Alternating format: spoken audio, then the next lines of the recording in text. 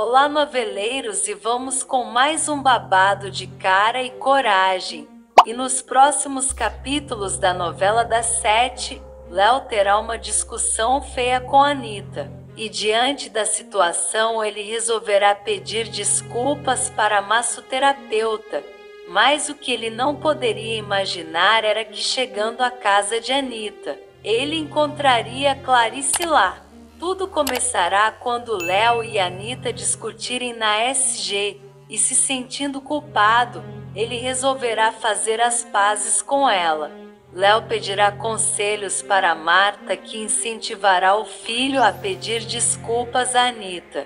Léo fala: Acho que peguei pesado com a Anita aquele outro dia lá na SG. Acho que devo desculpas a ela. Fui muito grosso mas era que eu não estava num dia bom. Marta responde: Eu entendo meu filho. Eu sabia que você voltaria atrás. Não foi aquela educação que eu dei para os meus filhos. Fico feliz em você reconhecer seu erro. Léo diz: O que você acha que eu devo fazer para pedir perdão a ela?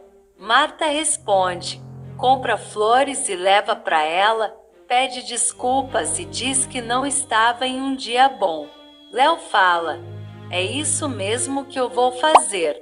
Vou agora na casa dela e vou me desculpar.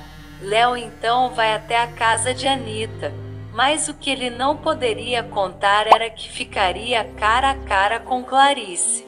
Já na casa de Anita, a massoterapeuta diz a Clarice que vai ao mercado. Enquanto isso, Clarice fica esperando em sua casa.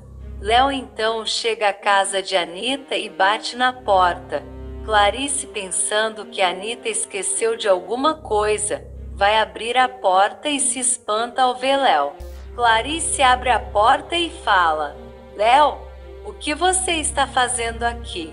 Léo entra na casa e diz: Sabe o que é Anita? Eu vim pedir perdão para você. Fui grosso com você outro dia lá na empresa. Clarice responde: Tudo bem, suas desculpas foram aceitas. Agora eu estou de saída. Léo fala: Se você for para a empresa, pode ficar tranquila. Hoje seu dia está livre. A gente pode ir almoçar em um restaurante aqui perto. Clarice responde: Não vai dar, vou resolver outras coisas. Sem perceber que Léo está em casa, Anita entra e fala: A fila do mercado estava enorme, achei que não ia chegar nunca em casa. Léo fica surpreso ao ver duas Anitas e logo conclui que uma delas é Clarice e fala: Espera, se essa que chegou é a Anita, então você é a Clarice. Mas como? Você morreu. Léo começa a ficar zonzo e desmaia. Anita diz: Como Léo entrou aqui? Eu disse para você não abrir a porta para ninguém. Clarice responde: Eu achei que fosse você. Anita bola um plano de despistar Léo, quer dizer que ele teve uma visão e que estava falando sozinho. Clarice se esconde e Léo acorda. Anita diz: Léo, o que aconteceu? Eu cheguei da rua agora e encontrei você desmaiado no sofá. Léo diz: Eu vi a Clarice, ela estava aqui. Eu vi ela. Anita responde: A Clarice não estava aqui. Ela está morta. O que você teve foi uma visão. Você precisa procurar um médico. Você não está bem. Léo pergunta: Então não era ela? Você tem certeza? Anita fala. Eu tenho certeza sim, se acalma. Vou fazer um café para você.